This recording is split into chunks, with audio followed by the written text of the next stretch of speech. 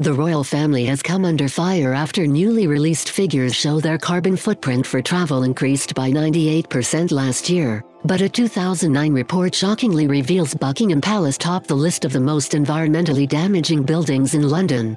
The royal family's carbon footprint nearly doubled last year due to the flights they took on official overseas visits.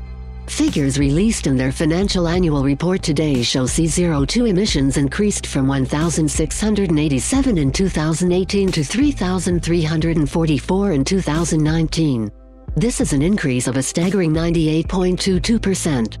Buckingham Palace said it was a matter of regret, but stressed increased foreign travel on behalf of the government was responsible for the rise. Royal biographer Penny Junor said it could be time for the royal family to start taking more scheduled flights to reduce their carbon footprint. She told The Times, they should practice what they preach. Prince Charles in particular has come under fire as he has been the most vocal about environmental sustainability.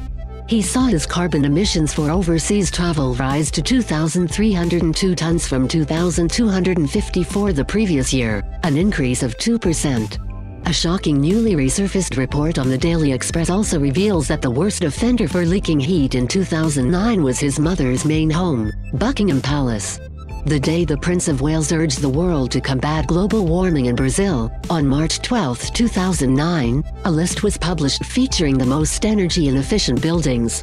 The sovereign's official London residence topped the list, scoring not out of 10 in an efficiency report.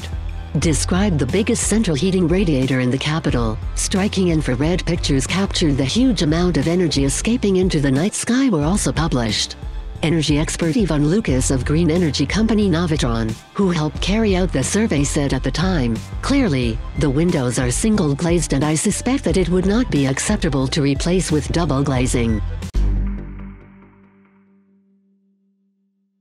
However, improvements in draft proofing on the windows, and perhaps adding secondary glazing would significantly reduce heat losses and bills. Buckingham Palace is currently undergoing a 10-year £369 million refurbishment program which is expected to make the royal residence more environmentally friendly. The program will also be replacing electrical cabling and heating systems, which have not been updated since shortly after World War II.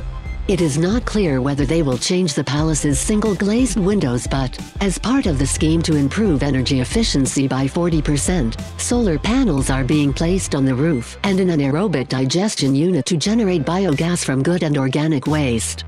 The palace is also said to be considering solar thermal panels, ground source heat pumps, electrical heating, and fuel cells.